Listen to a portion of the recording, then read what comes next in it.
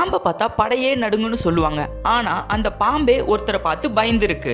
எல்லாரும் பாம்பு கடிச்சு இறந்து போன விஷயத்தை தான் நீங்க கேள்விப்பட்டிருப்பீங்க.